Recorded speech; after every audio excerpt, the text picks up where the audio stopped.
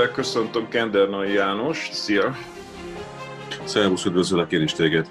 Köszi szépen, hogy elvállaltad ezt a beszélgetést. Alapvetően most se nem politizálni nem fogunk, sem pedig a koronavírusról nem fogunk beszélni.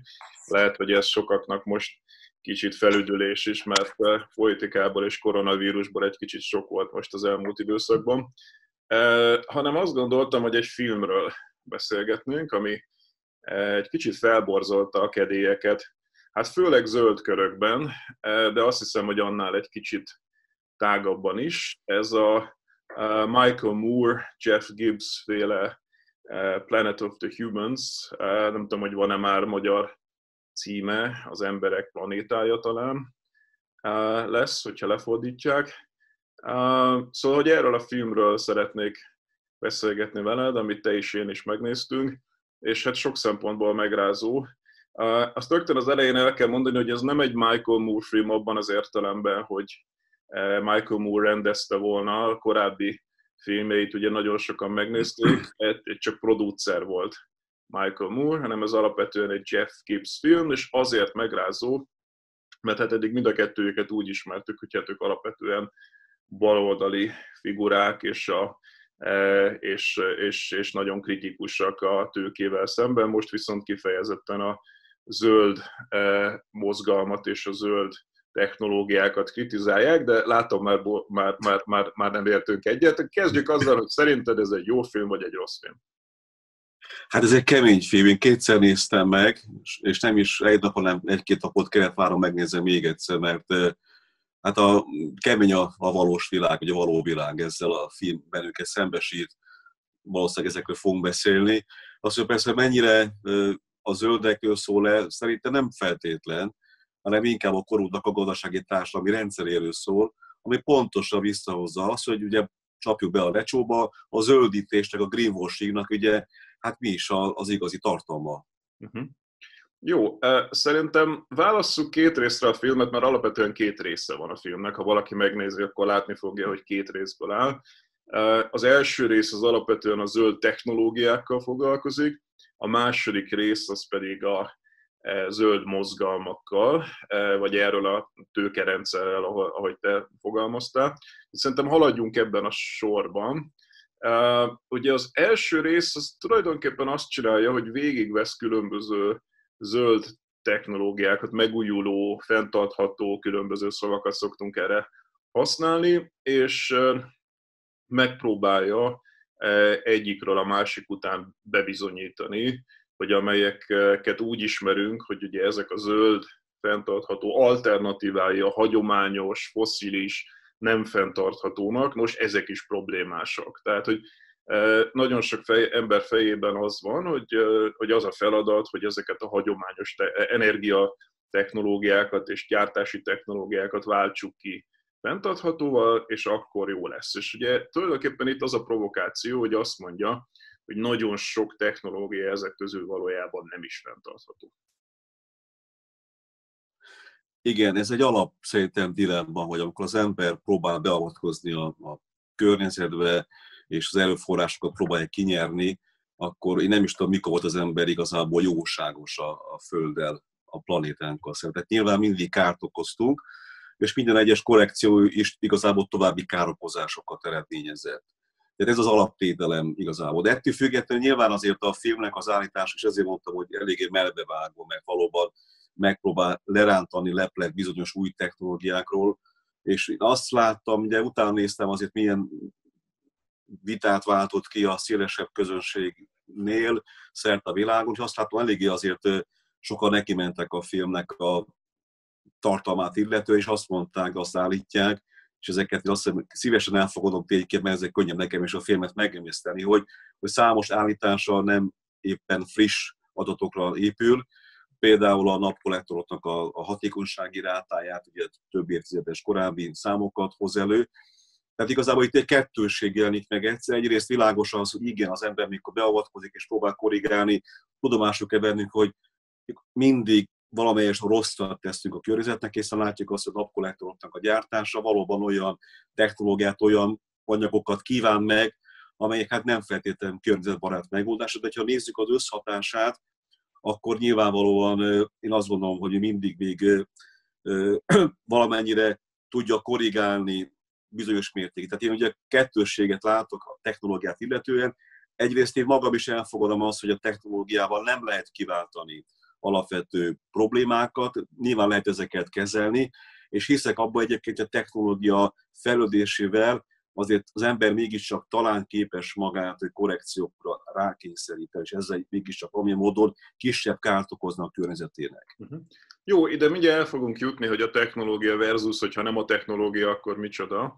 Én még egy kicsit a technológiánál maradva, én is utána olvastam a kritikáknak, és hát iszonyú heves kritikákat váltott ki, mert sokan azt mondják, hogy tulajdonképpen több rosszat tesz, több kárt tesz ez a film, mint hasznot, mert hogy egy csomó emberben azt az illúziót próbálja meg eloszlatni, hogy hát akkor nem is kell ezekkel a zöld technológiákkal foglalkozni, hogyha elhisszük, hogy ezek ilyen rosszak, akkor, akkor ezekkel nem érdemes foglalkozni, miközben rengeteg olyan hozzáértő szakértő megnyilatkozik, aki azt mondja, hogy több esetben, sok esetben kifejezetten téved. Tehát olyan szakértőket szólaltat meg, akik, hát vagy ahogy te mondtad, már idejét múlt adatokkal dolgoznak, vagy egész egyszerűen félreértelmezik ezeknek a technológiáknak a működését. Tehát, tehát most érdemes leszögezni, hogy napenergia, szélenergia, ezeket kritizálták, ezeken a, ezeknél a technológiáknál a film erősen téved. Tehát ezeknek sokkal jobbak a számai, mint amiket. De például vannak olyan technológiák, amelyekről a kritikusok is azt mondják, hogy ezek, ezek tényleg nagyon problémásak, leginkább a biomassa. Hm? Ez így van, tehát azért, azért gondoljunk abba vele, hogy korábban, amit a, amikor a biomasszát megújuló energiaforrásnak titulálták, és egyébként van benne ráció, hiszen valóban a fa az újra nő.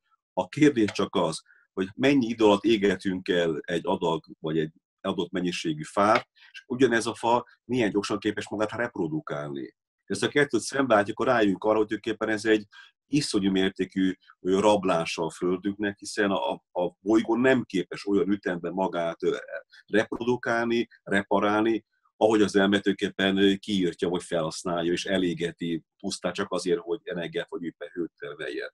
Hát nyilván ez egy teljesen jogos állítás, és azért a biomasszáról úgy gondolom, hogy azért az emberek, majd az államok és a társadalom próbálnak talán ettől, ettől eltávolodni. Nyilván, hogy ez nem fog eltűnni, hiszen azért nyilván viszonylag kézenfekvő, és nézzük meg Magyarországot, igenis a biomasszához való hozzájutás az egyik legolcsóbb energiaforrás lehet, de nyilván ennek a mértékét szerintem korlátozni kell, és nem szabad megengedni azt, hogy csak azért vágjuk ki a fát, hogy elégessük. Mhm.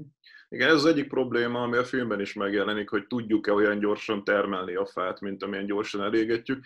A másik probléma, ami megjelenik, hogy hát mivel nem tudjuk, tehát kiderül, hogy ezek nagyon sok ilyen biomassa erőmű van, és nincs ennyi fa, elkezdenek szemetet égetni. Tehát, hogy ahonnan lehet kétségbe esettem minden francot összeszednek, és olyan dolgokat égetnek, amelyek egyáltalán nem környezetbarátok. Szóval hogy ez a biomassa ez egy nagyon problémás dolog, erről azt hiszem a kritikusok is azt mondják, hogy, hogy ennek ezt nem kéne erőltetni.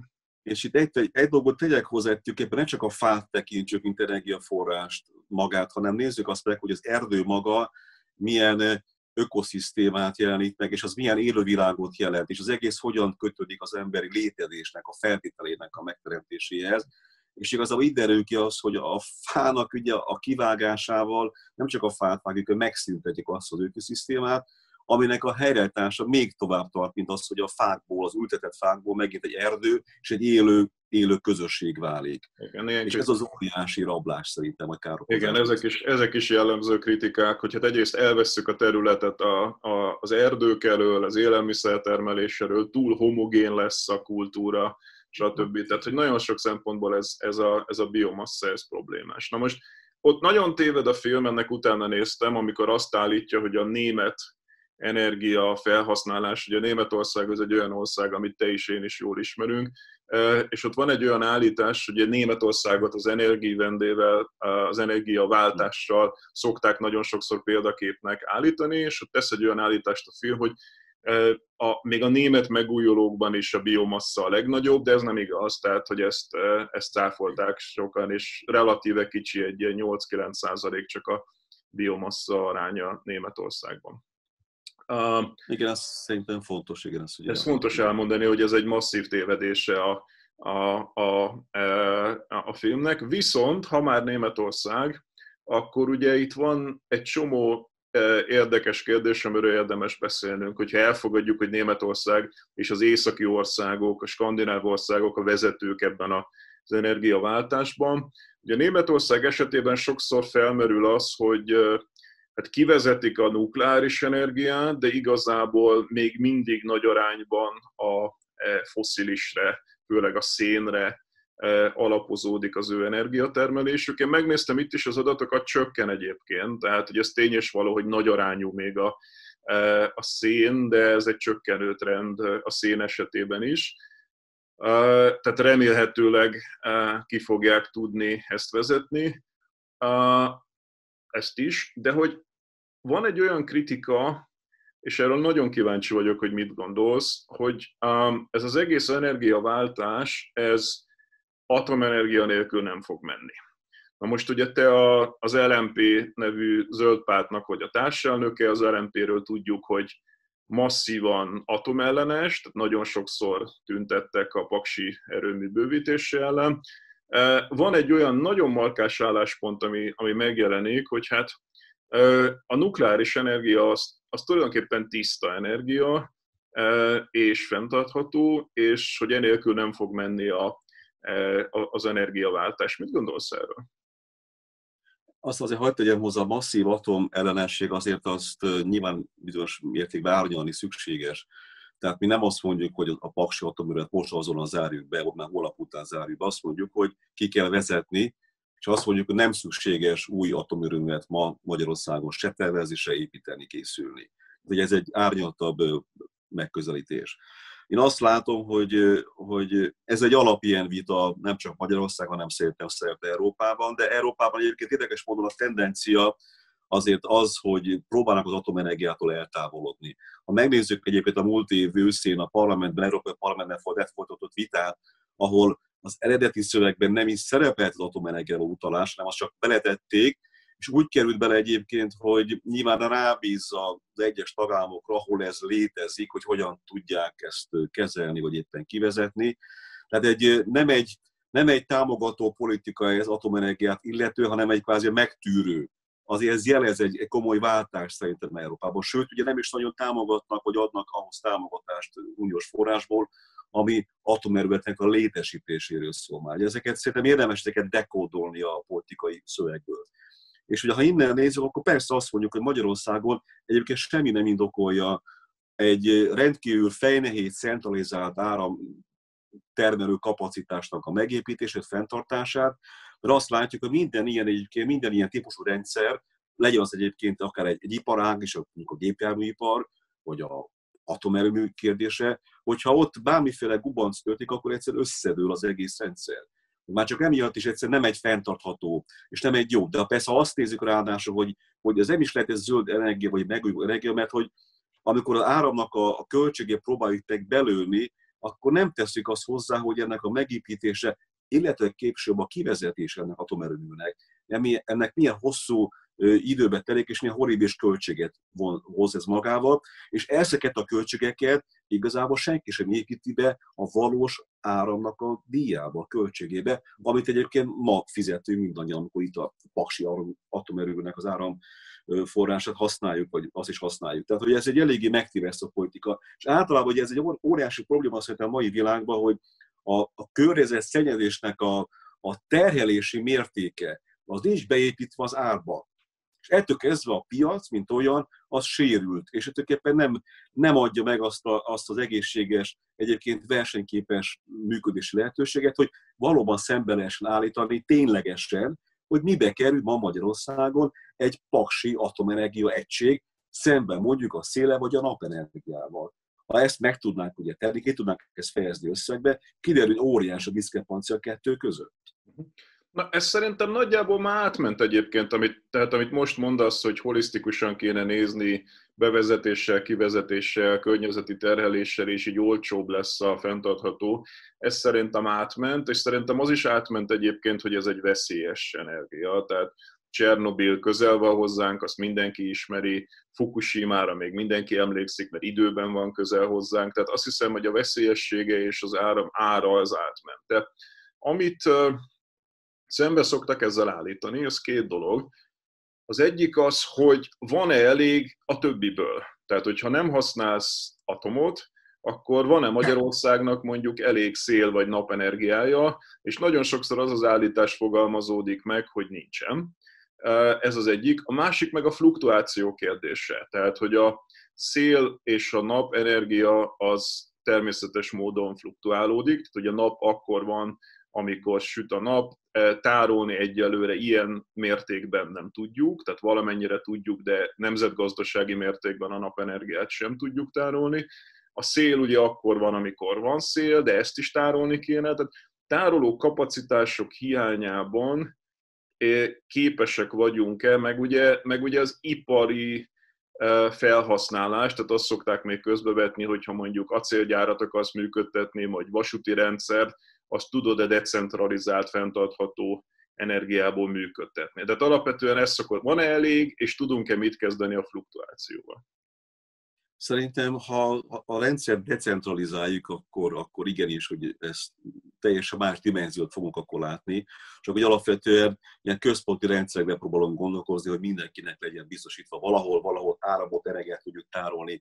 Ha egy decentralizált rendszer van, akár nézzük azt egyéni családi házak, vagy családi otthonok, vagy éppen társházatok a szintjén, akár települések szintjén, akkor azért csak azt láthatjuk, vagy láthatjuk azt, hogy igenis vannak világos példák, hogy, hogy családi házak képesek magukat fenntartani, közösségek tudják magukat fenntartani, tudnak települések egyébként önfenntartóan működni, egyébként Magyarországon is. Most meg nem mondom neked, de van egy, egy Magyarország, Nyugat-Magyarországon egy település, amelyik már hosszú évek óta önnellátó energia. Most meg nem mondom a település. Uh-huh. Igen, talán igen. Tehát van egy csomó példa, és Németországban is az elmúlt években egyébként már azt mondták, hogy az egyes ipari aktorok képesek voltak a saját energiafogyasztásukat decentralizáltasát maguk megtermelni. A, lakos, a lakosságnak, János, csak ugye ez a kritika, ez arról szól, hogy nem csak a lakosságnak kell energia, hanem az iparnak, a vasútnak. Nem, én iparról is beszélek. A... Uh-huh. Én ipar, tehát Németországban az iparnál is megjelent az, hogy, hogy a Németországban alapvetően ugye nem egy centralizált, tehát egy szövetségi áramellátó rendszer van, hanem ugye ez egy tagolt és a tagolt egységeken belül is egyes cégek kiépítették a saját energiatermelő kapacitásukat, és képesek voltak egyébként magukat működtetni mindenféle központi államforrás levétele nélkül. Tehát azt gondolom, hogy, hogy igenis, hogyha a rendszer decentralizáljuk, akkor sokkal jobban lehet optimalizálni az energiatermelésnek a mennyiségét, a felhasználásnak a mértékét, és akkor már sokkal kisebb probléma vagy kérdés lesz a tárolásnak a kérdése. Egyébként nyilván a tárolás is egy olyan téma, ami egyébként a technológia próbál ebben segítséget nyújtani. Én évek óta egyébként ezzel foglalkoztam áttételesen a szakmai pályám során, és láttam azt, hogy milyen jelentős technológiai forradalmi változásokban vagyunk egyébként, a, épp az energia tartalékolás vagy tárolás területén. Tudom, hogy ez egy szintén egy szennyező technológia. Tehát azt, ha megnézzük ennek az összes hatást, akkor nem feltétlen jó, de hát nyilván, hogy azt kell megnéznünk, hogy, hogy hogyan tudjuk a technológiát úgy alakítani, minél kisebb kárt okozó, illetve a problémákat tudjuk ugye kezelni és megoldani. Hát úgy gondolom, hogy, hogy igenis, hogy, hogy a, a technológia ebben tud segíteni, meg az a fajta szemlélet, az a fajta módszertani szemlélet, hogy, hogy igenis, hogy ne egy központi ellátó rendszerre, és, és energiatárolási kapacitásra gondoljunk, ami, ami óriási lenne, hanem próbáljuk meg minél kisebb alrendszereket kitalálni, hogy ezek, ezek minél könnyebben a napi élethez igazodó valós fogyasztást és igényeket tudja egyrészt teljesíteni. A másik, amiről keveset beszélünk egyébként Magyarországon is, az LNP ezt nagyon sokszor felvetett 18-as programból is szerepelt, most is mondtuk a válság kapcsán, hogy jó lenne például sokkal többet foglalkozni az energia energiahasznosításnak a kérdésével, hogy minél keves energia legyen, legyen szükségünk. A energia megtakarítás. Igen, igen, igen, igen. Erre, ezzel szerettem volna foglalkozni, hogy a, a film nagyon keveset foglalkozik a megtakarítással, a szigeteléssel, stb. Így van, így van, így van. Így van. Pedig hát az, a, az, a német példából is az látszik, hogy ez, ez talán, hasz, hogy mondjam, hatékonyabb, mint az új energiaforrások bevezetése. Így volt, tehát Németországban, ugye Berlinben jártam egyetemre, és mikor eljöttem, éppen, éppen 90-ben jöttem el az egyesítés idején, utána pár év alatt az összes panelházat leszigetelték. Budapestek jári körbe hány lakótelep van még mindig, a házakhoz hozzá se gyújt, és eltett 30 év. Miről beszélünk? Uh-huh. Tehát itt a magyar politika nagyon-nagyon nagy késésben van, pedig azért 90-ben nem volt ekkora dinamikája ezeknek a diskurzusoknak, amiről ma beszélünk, hogy mhm. energiahatékonyság, spórolás, megtakarítás, drága energia, környezetszennyezés, és lám azért Németországban erre nagyon sokat áldoztak már 90-es évek legelején. Láttam egy olyan számot egyszer, hogy a tipikus magyar házból a fűtés 70%-a elmegy az energiának, és 30%-a marad benn, és hogy a, lehetne olyan szigeteléseket használni, ahol ez fordítva lenne gyakorlatilag. Tehát ezek az ilyen zöld New Deal típusú dolgok, amiket a zöld pártok is javasolnak, meg mások is, ezek például ebben iszonyú jó befektetések lennének, hogy tehát egyszerűen anyagilag is jó befektetés, hogy, hogy munkát teremt, és, és energiát takarít meg, és fenntarthatóvá tesz minket. És itt jön a, a válság, amivel egyébként, amivel számol mindenkinek gazdasági, szociális válság itt a, a koronavírusnak a hatásaként. Egyik legkönnyebb kilábalás lenne egyébként az, hogy beindítsanak kormány egy, egy ilyen intenzív programot, ahol igenis a épületeket lehet egyébként leszigetelni, lehet munkahelyeket teremteni, lehet a zöld iparágazatok, iparágat ugye támogatni, segíteni ezzel. Tehát azért ezt nagyon sokszor elmondtuk már, és én magam is többször mondtam, hogy, hogy ebben a válságban fel kell mérnünk, fel kell, meg kell látnunk azt a lehetőséget, esélyt, amit kaptunk, hogy megpróbáljuk változtatni a szemléletünkön, és megpróbáljuk olyan iparágakat most megtámogatni, amelyek révén egyrészt segítjük a gazdasági taprálás, munkahelyeket teremtünk, és csökkentjük az energiafüggőségünket egyébként. Mert annál olcsóbb energia nincsen, mint amit nem használunk el, és nem fogyasztunk el. Uh-huh. Tehát ide próbálni kéne eljutni szerintem minden gyorsabban. Igen.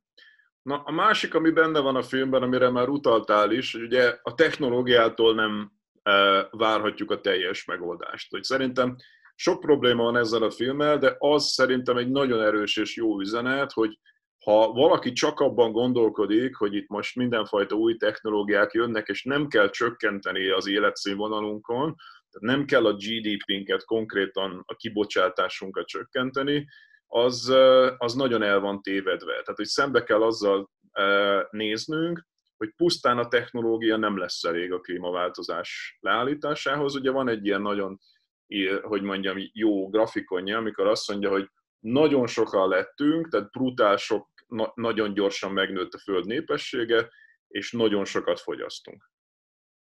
Tehát meg, meg, Igen, jól emlékszem, megtízszereződött a népessége, kilencszer, nyolcszorozódott eddig, de meg fog kilencszereződni e, a, a, a, e, az évszázad közepére, és a, és a, a fogyasztásunk is gyakorlatilag hasonlóan, tehát hogy, hogy, e, hogy a technológia önmagában nem fog minket megmenteni. Hm? Ez abszolút jól látod, én is ezt gondolom, hogy, hogy a technológiának ugye ez a, ez a illúziója, hogy majd egy technológiai fordulattal megoldjuk a problémáinkat, ugye ez alapvetően nem igaz. Itt teljesen meg kell, át kell gondolnunk, hogy a, a társadalmi gazdaság életünket hogyan alakítjuk át, melyek a prioritásaink, mitől boldog az ember. És ugye az elmúlt évtizedekben a boldogságot abból mérte nagyon sok mindenki, legalábbis a fejlett nyugati világból, és ahol Magyarország is tartozik, hogy hát fogyasztunk, minél többet fogyasztunk, minél szebb, könnyebb, gyorsabb dolgokat szerezzük be, vagy jussunk hozzá. És ugye az, a globális beszállítók ugye hát ezt próbálták belünk elhitetni a marketing munkájuk révén, hogy mennyivel jobb, szebb életünk lesz azáltal, hogyha fogyasztók és veszünk új termékeket, és ezeket rendszeresen lecseréljük, nem beszélve hogy az elavulásnak a kérdésére, amit ugye beépítettek, ez alapáltás a zöld politikusoknak, hogy a technológia úgy van kialakítva eleve, hogy tönkre menjen, és legyünk kénytelenek újat venni. És akkor csak egy másik dolgot hagyj említsek meg, amikor legelőször ez a probléma szembesült el, amikor a, nem tudom neked ez mond-e valamit, amikor a CD lemezek megjelentek a nagy piacon, és nagyon hamar kiderült, hogy, hogy ez messze nem a, nem a legfelettebb adathordozó technológia. Mert akkor minden technológia megvolt ahhoz, hogy URP meg egyéb más adatformák, adathordozó formák és eszközök rendelkezésre állnak, és legyártsák ezeket, ezeket mind visszatartották, mert mi maga a CD technológia nem futotta ki, kvázi nem hozta azt a profitot, amit a beruházások igényeltek volna. És ez a baj a technológiával, hogy, hogy igazából ezzel nem tudjuk, hogy ki hogyan játszik. Hmm. Tehát én azt állítom, hogy a technológiát mindig lehetett tovább fejleszteni, a technológiát szándékosan nem engedi tovább fejleszteni, mert nyilván nem hozta még ki, nem termelte meg azt a profitot, amire, amire azt annak idén megalkották. Tehát itt a profitnak a, a, a kérdés az mindig egy primér, és ha mindig ez így marad, addig a filmben is, amiről szó van, én csak itt tudom ezt interpretálni, nem is nagyon várható az, hogy technológiában reménykedjünk, mert a technológia a profitnak lesz a függő valamilyen okozata, vagy oka, és ameddig ezt nem tudjuk az emberi fogyasztásra hasznosítani, és nem vagyunk képesek a fogyasztásból levezet az a technológia, az meddig maradhat meg, meddig jó, mikor veszítjük a bizalmunkat benne, mert rájöttünk arra, hogy nem helyes, és váltsunk, addig ugye nyilván ki leszünk szolgáltatva ennek. És persze, hogy a film is ezt bemutatja nagyon jól, hogy, hogy a, a technológiában megpróbálják a maximális hasznot kihozni, és nem érdekli őket, hogy ez milyen marketing fogásokkal, hazugságokkal akár adják el nekünk, hogy ez milyen tiszta, milyen szép, milyen modern technológiai energiaforrást jelent, amit felhasználunk mondjuk elektromos hm. autónál. Világos. Viszont én abba az irányba sem nagyon mennék el, hogy ezt a fogyasztás kérdését nagyon individualizálnám. Tehát, hogyha azt mondjuk, hogy a technológia nem elég, akkor van egy erős késztetés bennünk, hogy elkezdjük ezt a mantrát, hogy nem kell mindig új iPhone-t venni, fogyasszatok kevesebbet, és ezzel individualizáljuk, egy, egy személyre bontjuk le, és egy kicsit ilyen tanárbácsisan megfedjük az embereket, hogy ti vagytok a probléma, túl sokat fogyasztotok. Miközben azt gondolom, hogy ha igazán feltárjuk ezt a problémát, akkor nagyon hamar kiderül, hogy itt alapvetően rendszer szintű kérdések vannak. Tehát ugye a zöld mozgalomban nagyon sokat vitatkoztak arról, hogy kádba kell fürödni, vagy zuhanyozni kell, mi az, ami több vizet fogyaszt, mi az, ami kevesebbet. Miközben kiderül, hogy hát 70%-át a világ vízfelhasználásának a nagyipari mezőgazdaság fogyasztja el. Tehát nem azt mondom, hogy nincs tétje, hogy hogyan fürdünk, de, de hogy nem fogjuk tudni megváltoztatni a, a, ezt a kérdést. Hogy egy másik példa, ami nekem nagyon e, megütött, hogy e, ugye miért termeljük a GDP-t? Hát nagyrészt azért termeljük, mert például ki kell fizessük a parami drága lakásárakat. Mondjuk Budapest környékén az emberek, de Berlinbe akárhol iszonyatosan sok pénzt kell kifizessenek arra, hogy valami irreálisan magasak a lakás árak, lakásbérleti díjak. Tehát azért termel hatalmas GDP-t, hogy ki tudjon fizetni ő a lakást, ami egy másik rendszerben, egy másik társadalmi berendezkedésben sokkal olcsóbban rendelkezésre állna, és nem kellene ennyi GDP-t termelni. Tehát, hogy hogy, hogy, hogy, szóval ez nagyon fontos szerintem, hogy ne kezdjük el individualizálni ezt a fogyasztás dolgot, ezek rendszer problémák. Hm? Ezt teljesen osztom egyébként, és igazából azt állítom én is, hogy, hogy ez a társadalmi rendszerünkön múlik, hogy, hogy mihez milyen értéket rendelünk hozzá. Tehát mennyire akarunk felülértékelni, vagy éppen alulértékelni. Nevezzük nevén a gyereket, hogy egy ápolónőt, egy vagy doktornőt, egy tanárnőt, hogyan értékel a társadalom. Szerintem ma Magyarországon messze alulértékeli őket, amit ők végeznek, azért, hogy mi boldogak és egészségesek lehessünk emberként. Ezzel szemben ott elmond az építés, az eszközök, a, a mobilizációhoz kötődő egyéb más dolgok, azok mind szerintem felül vannak értékelve. És én azt gondolom, hogy ide kell eljutnunk, hogy hogyan tudjuk a, az egész társadalmi működésünket úgy átalakítani, hogy ugye szoktunk néha persze a boldogsági indexről, és mi a boldogsági indexnek a legfontosabb elemei, és lehet, hogy nem feltétlenül az, hogy iPhone-okat vagy telefonokat vegyünk és adjunk el. És ha egyébként, ha ide eljutunk, akkor nyilvánvalóan akkor tudunk hatni a, a nagy rendszerekre is. Persze én azt nem akarom meg elvitatni, hogy, hogy és ugye erről beszéltem én is egyébként, hogy a nagy rendszerek nagyon nagy hatása vannak az egyéni fogyasztásra. Nagyon nehéz egyéni szinten ezeknek ellenállni. De azt nem akarom mondani, hogy azért ne tegyük azt, hogy egyéni szint ellenállok. Mondok egy saját emberi példát, ugye Belgiumban éltem nagyon sokáig, és ott minden egész évben, szinte most Magyarországon is lehet szőlőt kapni a boltba. És január-februárban vettem egy doboz szőlőt, egyszer megkívántam, olyan szépen nézett ki. Hazavittem, beleharaptam, és hát szörnyű cucc volt a dobozba, és megnéztem, hogy ezt hol gyártották, hogy hol termelték, honnan jött, és hát Indiából jött a szőlő. És akkor lettöbbentem, hogy hogy lehetek ennyire buta és hülye, már bocsánat, ezt mondom magam, hogy, hogy januárban veszek szőlőt át egy, át kettő Indiából. Hát miért nem tudom kívánni akkor, amikor Európában vagy Magyarországon a szőlő terem? Annak akkor van a, a normális időszaka. Tehát igazából azt gondolom, hogy, hogy ha azért, ha van egy tudatos fogyasztói attitűd, akkor ezzel azért a piacra lehet hatni, mert hogyha a piaci termelő, piaci tényezők azt látják, hogy a, a terméke, a szolgáltatása nem megy úgy, ahogy kellene, hm. akkor igazodik. Tehát ez egy kettős dolog. De nyilván ez nagyon nehéz egyéni szinten elállni, éppen ezért a politikának van óriási felelősség, hogyan tudja ezt rendszer szintű eszközökkel segíteni, szabályozni, meghatározni. Nézzük, hogy a repülőgépeket.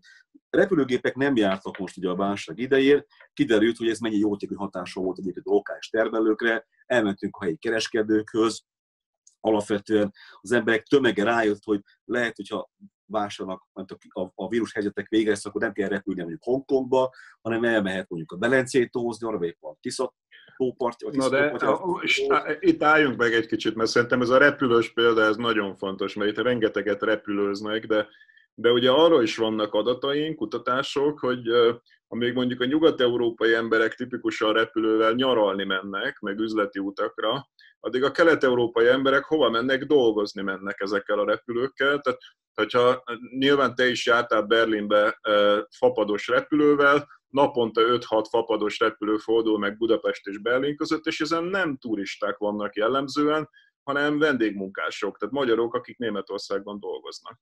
Tehát, hogy ez, ez, ez, a, ez a ne repülőzzetek, ez egy kicsit megint nem veszi figyelembe azt, hogy kik repülőznek valójában. Igen, ezt osztó nyilván, hogy itt alapvetően ez nem jó. Persze azért Európában is, hogyha lenne egy tisztességes kerozinadó, vagy repülőgépadó, akkor kiderülne az, hogy a, a környezet terhelés a, a repülőgépnek, a repülőgépes közlekedésnek ugye eleve más költséget kívánna meg, és lehet, hogy kiderülne, hogy ezzel szemben érdemesebb lenne mondjuk vonattal közlekedni. Az Európában, ahol magyar munkások vagy magyar emberek járnak dolgozni, oda azért el lehetne menni vonattal, és lenne tisztességes vonat összekötetés. Tehát a vonat hálózat, pláne Magyarországon eléggé vissza volt fejlesztve, Európában nem annyira, illetve Európában pluszban egyébként elkezdődött egy rendkívül dinamikus ilyen fejlesztés a mosti közlekedésnek, északi vonatoknak, ugye Bécsből is el lehet jutni most már sok felé, de már csak Budapestről Bécsig kell és akkor el lehet menni északi vonattal, és kiderül az, hogy, hogy egyébként el lehet jutni repülőgépen kívül is, hogyha ezek az egyéb alternatív közlekedés eszközök megint piacképessé válhatnának. Meg, Tehát mi határozzuk lennének, meg? Mert jelenleg Igen. sokszorosát fizetett ki egy ilyen vasútútér a, a repülőnek sajnos. Így van, Igen. így van. Na most egy kicsit globális perspektívákat behozva a dologba. Ugye, amit én még nagyon sokat látok, hogy ezekben a magyarországi vitákban megjelenik, ez a, a túlnépesedés kérdése. Tehát, hogy azt már nagyon sokan észrevették Magyarországon, hogy alapvetően a túlnépesedés az alapvetően a harmadik világra jellemző. Tehát ebben az első-második világban, ahol mi élünk, itt inkább a népesség fogyása jellemző, viszont a harmadik világ nagy részén népesség növekedés van. És ugye nagyon sokan azt szokták rávágni erre, hogy hát azzal kéne megoldani a globális klímaválságot, hogy ott azokban az országokban a népesség növekedését kellene megállítani, mert hogyha azok az emberek majd úgy akarnak élni, mint mi, akkor ezt nem fogja elbírni a bolygó. Erről mit gondolunk? Igen, tehát ez egy, ez egy fontos részeleme szerintem a teljes problematikának, és nyilván erről csak úgy szabad beszélni, hogy kontextusába, kontextusába helyezzük, hiszen számos fejlődő országban a hiába népesebb egy család mondjuk, mint Magyarországon, de hát kisebb a, a ökoláb, mint, mint a magyarországi vagy éppen nyugat-európai családoknak. De sokkal, sokkal hiába van kevesebb. Hát szerintem azt is érdemes hozzátenni, hogy nem kicsit kisebb, hanem brutálisan kisebb. Így van. Tehát hiába egyke gyerek kell, vagy, vagy egy gyerekes családok vannak Nyugat-Európában, az ökolábnyomok szignifikánsan magasabb. De egy, amit mondasz, nem akarom ezt elvitatni, ezzel is picit foglalkoztam, amikor a Brüsszelben dolgoztam a külügyszolgálatnál, mediterrán régióban egy időben azzal foglalkoztunk, hogy hogyan lehetne a tenger alatt összeköttetni, összeköttetést teremteni a két kontinens között, és Észak-Afrikában napkollektor parkokat telepíteni, amivel ők áramot tudnának exportálni Európába. Ezzel nagyon sok, sok évig foglalkoztak és készültek ezekre a projektekre, míg nem rájöttek, hogy ha ez megépül, ez pont fordítva fog működni. Mert Észak-Afrikában a népesség robbanás miatt akkor az szükséges energia felvételre, hogy nem ők fognak exportálni, ők fognak importálni Európából. Hát egyébként ez teljesen igaz, ezért nagyon-nagyon nem mindegy, hogy, hogy a, a világnak a problémáit, nyilván elég sok ilyen van, hogyan próbáljuk kezelni. Tehát, hogyha ha a nyugati civilizáció, gazdasági fejlődés tekintjük mintaként, és ez a jó minta, akkor szépen az elég rossz irányba fog menni, hiszen alapvetően letarolja azokat a amúgy lehet, hogy önfeltartó módon is működni képes társadalmi vagy éppen kis népesi közösségeket, ahol bevisszük ezeket a technológiai vívmányokat, lehet, hogy sokkal nagyobb kárt okozunk egyébként ezzel. Meg két dolgot akartam ehhez hozzátenni. Az egyik az, hogy de szerintem ez nagyon fontos megérteni, hogy nem tagadhatjuk meg ezektől az emberektől, hogy úgy éljenek, mint mi. Tehát, hogy azt, azt mondani, hogy ti maradtok a biciklin az egytár rizsjel, és nem élhettek azon a szinten, ahol a nyugat, ez szerintem immorális. A másik, hogy viszont megállítani akarni a népesség növekedését, az meg irreális, mert hogy ugye a globális klímaváltozás megállítására már nincsenek évtizedeink. Ez gyakorlatilag egy ilyen tíz éves időtáv, ami alatt ennek meg kell történnie.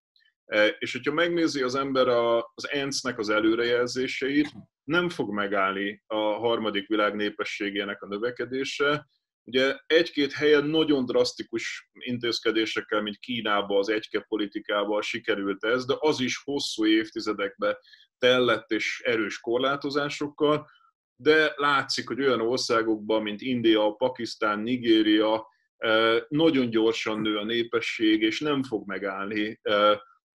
Úgyhogy azt gondolom, hogy aki abban bízik, hogy majd a harmadik világ népesség csökkenése, az ráadásul irreális is. Amiből viszont az következik, hogy az első világnak, amiben egyébként mi is beletartozunk, tehát hogy szerintem ez is egy ilyen fura dolog, hogy a magyarok alapvetően azt gondolják, hogy mi a szegény részéhez tartozunk a világnak, miközben marhára nem, tehát mi, mi, mi, mi fölötte vagyunk a globális átlagnak. Ugye Börös József szokta mondani, hogy egy ilyen 120-140 százalékán vagyunk a globális átlagnak. Nekünk bizony, nekünk bizony el kell fogadjuk, hogy, hogy GDP csökkenésben kell gondolkodnunk. És ez mintha egyáltalán nem jelenne meg a magyar közvitákban, tehát mindig az van, hogy mennyivel nő a GDP idén, gyorsabban növünk-e, mint a szlovákok. Ez a perspektíva, hogy a szlovákokkal kell versenyeznünk, miközben a valódi kontextus az az, hogy nekünk, nekünk is, meg a szlovákoknak is csökkennie kéne a GDP-nek. Hm? Ezt teljesen osztom ismételte, tehát nem hiszem azt, hogy, hogy a GDP-t végtelenség lehet ugye növelni, nem hiszem azt, hogy ez a, ez a helyes módszer egyébként a 21. században, hanem inkább az, hogy, hogy el kell fogadni azt, hogy a, a fenntartható életforma, a gazdasági társadalmi szerkezet az, az, az képes egy optimális szintre beállni.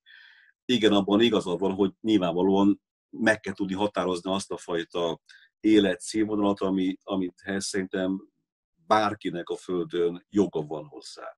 Tehát most ezt átvetítjük egyébként Magyarországra, ebből a szempontból azért itt is vannak erős kételje, mert azért az oktatást, nézzük a gyöngyöspatai kérdés, ugye most egy aktuális bírósági döntés volt, még az egészségügyi ellátórendszert nézzük, a munkanélküli ellátás kérdését, azért ezek olyan dolgokat vetnek föl, amik kiderül, hogy mindenféle GDP növekedés ellenére is ezek az alrendszerek, ezek a supportrendszerek el voltak hanyagolva. De ezek elosztási kérdések, tehát hogy miközben a GDP-nknek csökkennie kéne, az hihetetlenül igazságtalan elosztás. Tehát elosztási kérdés belülről is, Magyarországon belülről is, meg elosztási kérdés globálisan is. Nem fogjuk tudni a klímaváltozást megállítani, visszafordítani, hogyha a saját elosztási kérdéseinket és a globális elosztási kérdéseket nem tudjuk kezelni. Tehát nyilván Magyarországon nagyon sok szegény ember él, akiknek sokkal jobban kéne élnie, de ez meg az kellene, hogy a, hogy a nagyon jól élőknek meg rosszabbul sajnos.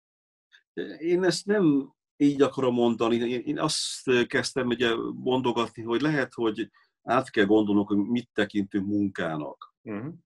Tehát, hogy, hogy mi, az a, az, mi az a munka, amit mi szeretnénk díjazni. Uh-huh. És, és lehet, hogyha innen közelítjük meg, hogy a, a társadalmilag hasznos munkavégzés, az, ha azt mi egy új értékmérő egység szerint határozzuk meg, legyen az megint egy tanítói, egy, egy, egy ápolói állás, egy, akár egy szemétszedő, vagy a kukás, aki a szemetünket elviszi és feldolgozza.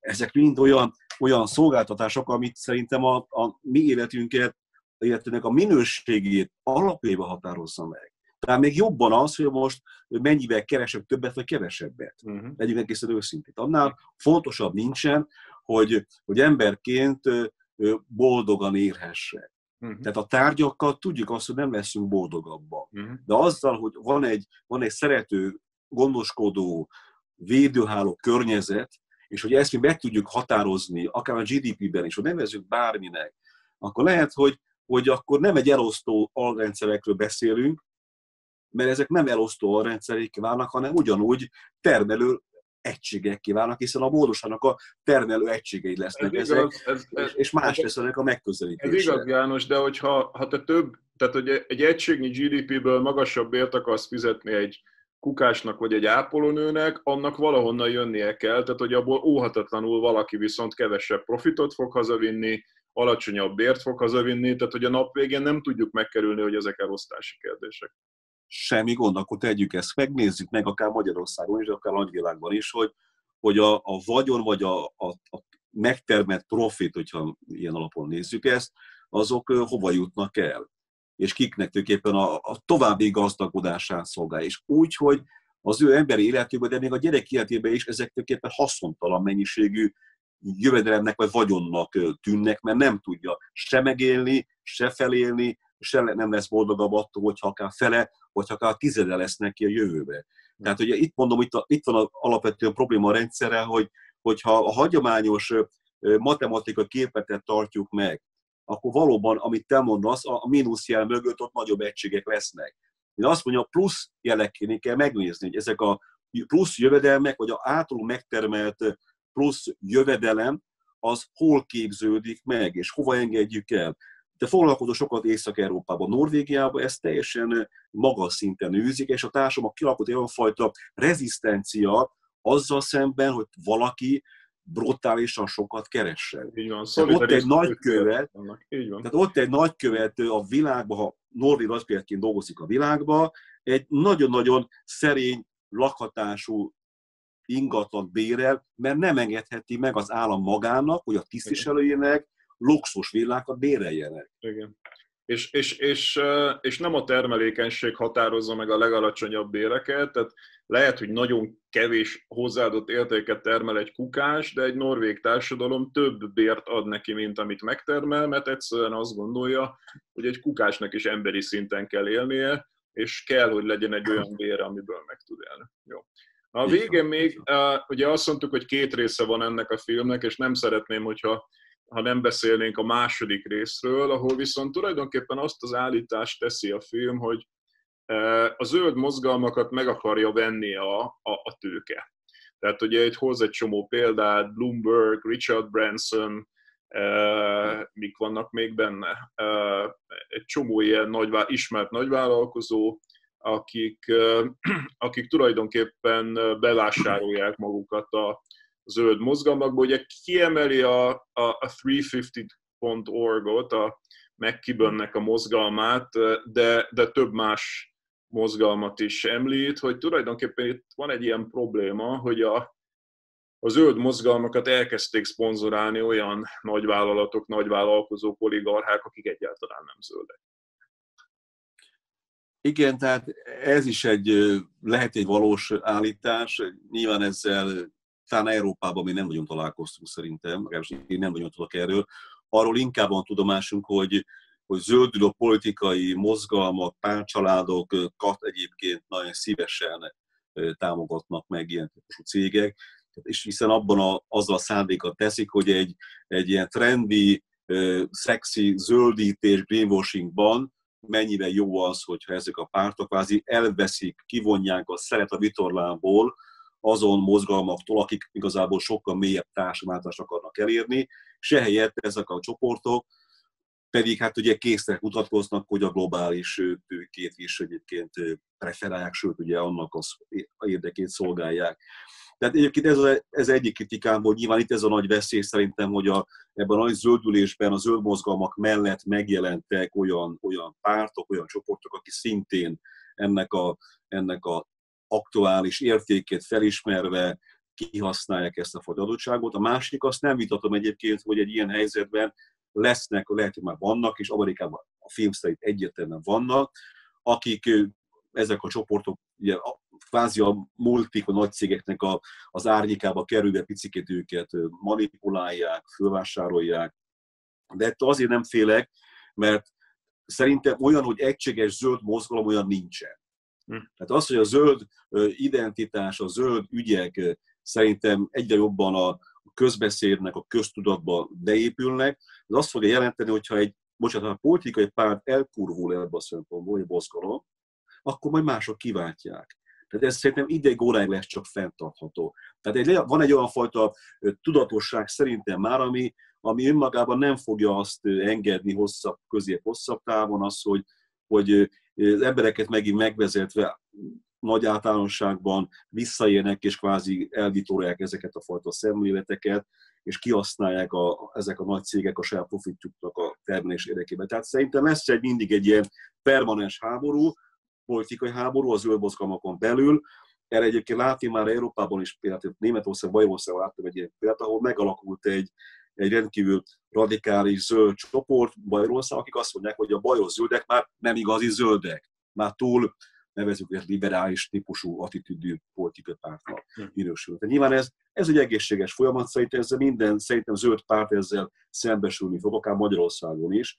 Persze, de Magyarország, Magyarország is el fog egy olyan időszak jönni, ahol a, a zöld pártok mögött megjelennek újabb zöld alternatív mozgalmak. És mindig fogják táplálni ezt a fajta folyamatot, ez teljesen ennyi van így, ezzel nincs ezzel baj. Én szerintem optimista vagy. Én azért gondolom, hogy optimista vagy, mert ugye azt feltételezed, hogy van egy ilyen öntisztulás, tehát hogy ez alapvetően egy ilyen morális kérdés, egy idő után elkurvulnak a, a, a zöld politikusok, és e, és megfizettetik magukat a, a, a, a környezetszennyező tőkével, de hogy ez egy morális kérdés, és majd jönnek fiatalabbak, akik a helyükre lépnek és félretolják a korrupt öregeket.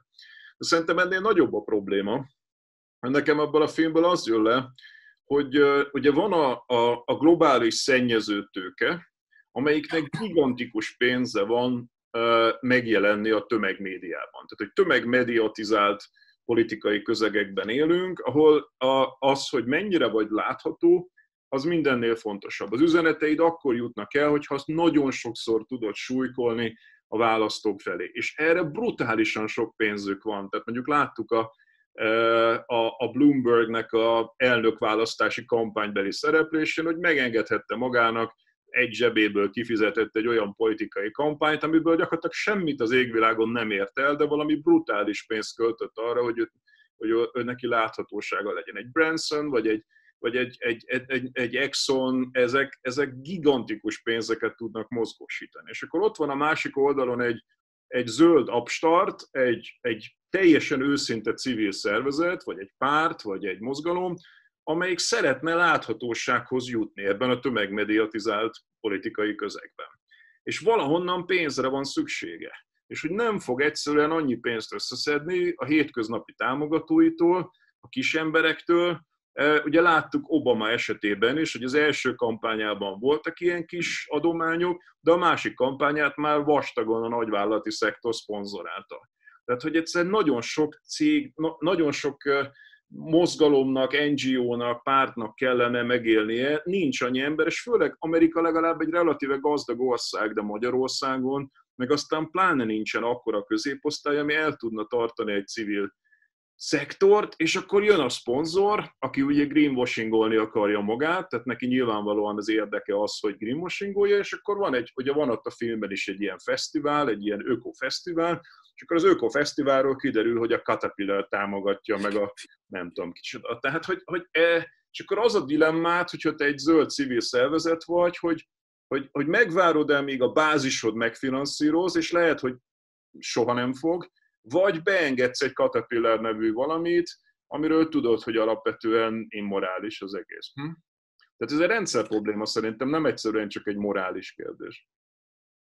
Igen, ezt nem vitatom, de én az a típusú ember vagyok, aki talán idealista, talán naív, talán, talán kimondom esetleg elvek ember akarok lenni, vagy így szeretnék élni, és azt gondolom, hogy, hogy nincsen egy, egy tehát nem statikusan nézem a világot, és nem gondolom azt, amit ma megtapasztalok, ennek így kell lenni holnap és holnap után is. Hanem én azt látom, és azt szeretném látni, ez az én életmódom, vagy az én életlátásom, hogy, hogy amiben én benne vagyok ma, az, azt változtatnom kell a saját egyéni szintem, és minden nap. És abban bízom, hogy ez ugyanúgy nagyobb rendszerben és minden nap változik, vagy változó irány tendenciát mutat, és hiszek abban, hogy, hogy ha van egy bizonyos racionalitás, amit, amit nem lehet elvitatni, és amire lehet bízni, hogy az embereket jó szándékra készteti, mobilizálja, motiválja őket, készteti őket, akár önszabályozza őket, hogy ez magával hozza egyfajta fejlődést, nevezük fejlődésnek, vagy átalakulást. És azt gondolom, hogy, hogy azt nem, engem most az nem érdekel, hogy, hogy a, a mai küzdelem az mennyire könnyű vagy nehéz. De azt nézem, hogy a mai küzdelemmel holnap könnyebb lesz. Holnap is nehéz lesz megküzdeni, de azt majd mások csinálják meg, mert ők fognak küzdeni. És ez így szerintem megy előre, mert abban nem hiszek, azt egyetlen kimondom, hogy itt egyik napra, másik napra a rendszer átalakul, megbomlik, jön egy világforradalom, tehát ezek, ezeket én nem osztom. Tehát ettől kezdve kénytelen vagyok együtt élni azzal, hogy meg kell határozni azt a fajta tűrés küszöböt, ameddig elfogadom a létezését, vagy megtűröm a létezését olyan cégeknek, vagy működésüknek, amelyek tudom, hogy hosszú távon nem jók, és oda el kell jutni, próbálni, és ezt nyilván hozom az én diplomáciai életemből is, hogy, hogy ez egy folyamatos oda-vissza adó-kapok harc, küzdelem, együttműködés, aminek mindenkinek jobb kell legyen holnap meg holnap után. Mondok egy konkrét példát erre. A dohányipar. A dohányipar 90-es évek elején kezdett el, ugye megkésőbb talán már korábban átmenni más iparágakba, mármint a pénz, ami a dohányipart működtette. Mert rájöttek arra, hogy egyszerűen mindenhol a dohányipari reklámokat elkezdték ugye visszavágni. És látták azt, hogy itt óriási veszteséggel fognak képződni, hogy azt a pénzt nem viszik át máshova. Ezt onnan tudtam meg, mert magam is egyszer pályáztam egy nagy dohányipari céghez, még amikor pályakezdő voltam, és akkor utána néz, akkor vettem észre, hogy nagyon komoly dohánycégek megjelentek az édeség, édességiparban, a kávé, meg az élelmiszeriparban. És már akkor átvitték a pénzüket, hogy áttranszferálni ezt a fajta profit termelői képességet, mert az a számoltak, hogy a dohány drága lesz, kevesebbet fognak szívni, büntetik, nem lehet reklámozni, kvázi nem lesz annyira profitábilis dohány termelni. Nyilván még mindig az valószínűleg, de már nem annyira, mint esetleg régen volt. Tehát ezt látom, hogy nyilvánvalóan ez egy folyamatos harc, küzdelem, hogy hogyan lehet rávenni azokat a óriási források felett rendelkező cégeket, hogy megpróbáljanak az emberiség szempontjából talán kevésbé káros dolgokra átvinni, és ott hasznos kvázi tevékenységhez, vagy hasznosabb tevékenységhez hozzájárulni. Nyilván az se lesz az, nem vagyok naív ebben a szempontból, de azt gondolom, még egyszer mondom, hogy, hogy nem tudom azt elmondani, vagy kimondani statikusan, egyszer csak minden paradicsomi állapot fog bennünket körülvenni, mert nem lesz ilyen soha. Tehát ez a napi küzdelem, és meg kell tenni az egyéni fogyasztói szinten is, a politika szintjén, a civil szeretek révén, a mozgalmak révén, meg nyilván a cégeknek az önszabályozása révén az, hogy hogyan tudunk mindannyian az emberség, az ember, emberség, az emberség egész számára minél inkább ugye hát egyfajta jobb szolgálatot adni, vagy teljesíteni. Világos. Én se azt akartam mondani, hogy itt valami hirtelen forradalom lesz, tehát nyilván annyira én se vagyok hülye, hogy azt gondoljam, hogy egyik pillanatról a másikra itt egy ilyen gazdasági rendszerváltás lesz globálisan, nyilván nem lesz. Csak, a, csak azt gondolom, hogy az, az is veszélyes, amikor meg nagyon-nagyon az individualizálás irányába megyünk el, és én szerintem jelenleg a médiában sokkal erősebb ez az individuális blame game, hogy te változtas, te változtas, mint annak az exponálása, hogy itt azért alapvetően rendszer problémák vannak. Ez teljesen világos. Egyébként ez picit talán változik, azért megnézzük még egyszer Európában a, ugye az ősszel a bizottság által beterezte Green Deal kérdését, és azt előjött most is igazából a válság követően, hogyan lehet ebből a válságból akár Európában minél jobban kijönni. És azt mondjuk mi zöldek, hogy hát persze nem más, mint a Green Deal-nek a, a, a valós kvázi bevezetésével és érvényesítésével, és ezt mondjuk Magyarországon és a Magyarországon is nem szabad visszatérni egy ilyen helyzet után a korábbi működési rendszerekhez, hanem át kell gondolni, hogyan lehet átstruktúrálni a gondolkodásunkat, akár az ipari támogatást, a gazdasági támogatását, a, a mondom még egyszer, a munka, munkának az átértékelését, hogy megpróbáljunk egy új trekre, új pályára kerülni. akár mennyire is változik, de változzon az meg, ez a lényeges. Induljon egy tendencia, ismerjük azt fel, hogy, hogy kaptunk egy esélyt, hogy kaptunk egy esélyt, hogy most úgyis változtatni kell, és ezek olyan szerintem egyedi alkalmak, amikor ha valami jól működik, vagy azt hiszik, hogy jól működik úgy általában, akkor kicsi az ingerencia annak a változtatás. Amikor azt látjuk, hogy ez összedőlt, és megbomlott, és nem fenntartható, akkor, akkor ne legyünk restek ezt, ezt arra használni, akkor, akkor most lépjünk, és most változtassuk, és menjünk más irányba. Na, szóval ez egy kitűnő végszó szerintem, amiket most mondtál. Én köszönöm szépen, János, hogy vállaltad velem ezt a beszélgetést. Itt egy óra hosszat Jeff Gibbsnek és Michael Moore-nek a közös filmje apropóján beszélgettünk alapvetően az energia változtatásról és az azt körülvevő társadalmi gazdasági kérdésekről. A film címe Planet of the Humans, megnézhető egyébként ingyenesen online, tehát ha valakit érdekel a film, nem kell fizetni érte, egy kis kereséssel megtalálható online, és remélhetőleg magyarul is meg lesz nem sokára. János, köszönöm szépen! Én köszönöm szépen a beszélgetést!